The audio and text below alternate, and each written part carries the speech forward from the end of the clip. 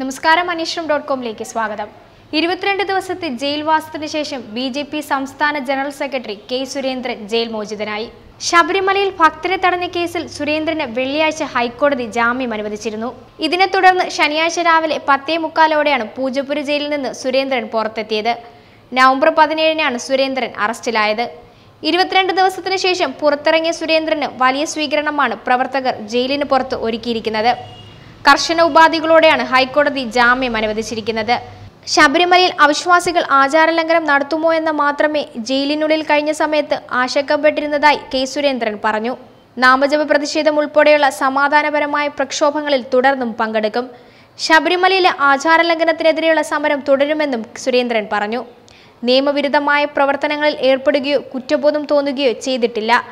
ശബരിമലയെ തകർക്കാനുള്ള പിണറായി വിജയൻ സർക്കാരിന്റെ നിഗൂഢ നീക്കങ്ങൾക്കെതിരെ വിശ്വാസികളെ അണിനിരത്തി സമരം തുടരുക തന്നെ ചെയ്യുമെന്നും ഇദ്ദേഹം കൂട്ടിച്ചേർത്തു. ഇരുമുടിക്കെട്ട് തട്ടിത്തെറിപ്പിക്കാൻ പോലീസ് രണ്ട് തവണ ശ്രമിച്ചു. ജാമ്യവ്യവസ്ഥയിൽ ഇളവ് തേടി ഹൈക്കോടതിയെ സമീപിക്കും. ഒരു തരത്തിലുള്ള നിയമലംഘനവും നടത്തിയിട്ടില്ല. ആചാരലംഘനങ്ങൾക്കെതിരെ പ്രതിഷേധം തുടരും. തനിക്കെതിരെ ചുമത്തിയത് കള്ളക്കേസാണെന്നും സുരേന്ദ്രൻ പറഞ്ഞു. ആലപ്പുഴ സംസ്ഥാന സ്കൂൾ കലോത്സവത്തിൽ ഉപന്യാസ മത്സരത്തിന്റെ വിധികർത്താവായെത്തിയ ദീപാ നിശാന്തിനെതിരെ പ്രതിഷേധം. അടുത്തിടെ വിവാദമായ കവിതാമോഷണത്തിന്റെ പശ്ചാത്തലത്തിലാണ് കലോത്സവ വേദിയിൽ പ്രതിഷേധമുയർന്നത്. പ്രതിഷേധത്തിനിടെ ദീപാ നിശാന്തിനെയും മറ്റു രണ്ട് വിധികർത്താക്കളെയും സംഘാടകർ സ്ഥലത്ത് നിന്നും മാറ്റി. അധ്യാപികയും സാഹിത്യകാരിയുമായതിനാലാണ് ദീപാ നിശാന്തിനെ കലോത്സവത്തിന് വിധികർത്താവായി ക്ഷണിച്ചതെന്നും ആയതിനാൽ അവരെ മാറ്റില്ലെന്നുമുള്ള നിലപാടിലാണ് സംഘാടകർ. യുവകവി എസ് കലേഷിന്റെ കവിത സ്വന്തം പേരിൽ കോളേജ് മാഗസിനിൽ പ്രസിദ്ധീകരിച്ചതോടെയാണ് ദീപാ നിശാന്തിനെതിരെ സോഷ്യൽ മീഡിയയിൽ പ്രതിഷേധമുയർന്നത്. എന്നാൽ ശ്രീചിത്രൻ തെറ്റിദ്ധരിപ്പിച്ചത് മൂലമാണെന്ന് തൃശൂർ കേരള വർമ്മ കോളേജിലെ അധ്യാപിക ദീപാ നിശാന്തിന്റെ പ്രതികരണം. സ്വന്തം വരികളാണെന്ന് വിശ്വസിപ്പിച്ച ശേഷം കവിത നൽകി ശ്രീചിത്രൻ വഞ്ചിച്ചുവെന്നാരോപിച്ച ദീപ കലേഷിനോട് പരസ്യമായി മാപ്പ് പറയുകയും ചെയ്തിരുന്നു. രാജസ്ഥാനിൽ വോട്ടിംഗ് യന്ത്രം റോഡരികിൽ ഉപേക്ഷിക്കപ്പെട്ട രീതിയിൽ കണ്ടെത്തി. കിഷൻഗഞ്ച് നിയോജക മണ്ഡലത്തിലെ ഷഹാബാദ് പ്രദേശത്തെ ഹൈവേ നമ്പർ ഇരുപത്തിയേഴിൽ നിന്നാണ് വോട്ടിംഗ് യൂണിറ്റ് കണ്ടെത്തിയത്. വെള്ളിയാഴ്ച രാത്രിയാണ് സംഭവം.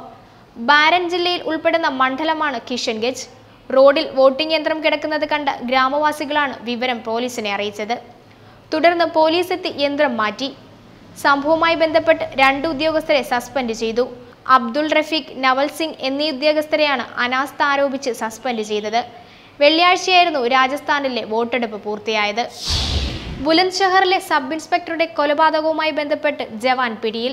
ഉത്തർപ്രദേശിലെ ബുലന്ദ്ഷഹറിൽ ആൾക്കൂട്ട ആക്രമണത്തിനിടെ സബ് ഇൻസ്പെക്ടർ സുബോധ് കുമാർ സിംഗിനെ വെടിവെച്ചുവെന്ന് സംശയിക്കുന്ന കരസേനാ ജവാനെ സൈന്യം തടവിലാക്കി. ജിതേന്ദ്ര മാലിക് എന്ന ജവാനെയാണ് ഇയാളുടെ യൂണിറ്റ് തടവിലാക്കിയത്. വെള്ളിയാഴ്ച രാത്രി സോപ്പൂറിലെ യൂണിറ്റിലെത്തിയ ഇയാളെ ഉടൻ തടവിലാക്കുകയായിരുന്നു. ജിതേന്ദ്ര ഇന്ന് ഉത്തർപ്രദേശ് പോലീസിന് കൈമാറുമെന്ന് ദേശീയ മാധ്യമം റിപ്പോർട്ട് ചെയ്തു. ജിതേന്ദ്രയെ അറസ്റ്റ് ചെയ്യുന്നതിനായി ഉത്തർപ്രദേശ് പോലീസിന്റെ സ്പെഷ്യൽ ടാസ്ക് ഫോഴ്സ് ശ്രീനഗറിൽ എത്തിയിട്ടുണ്ട്. അറസ്റ്റ് രേഖപ്പെടുത്തുന്നതിന് ശേഷം ഇയാളെ ബുലന്ദ്ഷഹറിലെ ജില്ലാ കോടതിയിൽ ഹാജരാക്കും. ഉത്തർപ്രദേശ് പോലീസുമായി പൂർണമായി സഹകരിക്കുമെന്ന് കരസേനാ വൃത്തങ്ങൾ അറിയിച്ചിട്ടുണ്ട്. അന്വേഷണം ഡോട്ട് കോമിന് വേണ്ടി Anoma Thomson.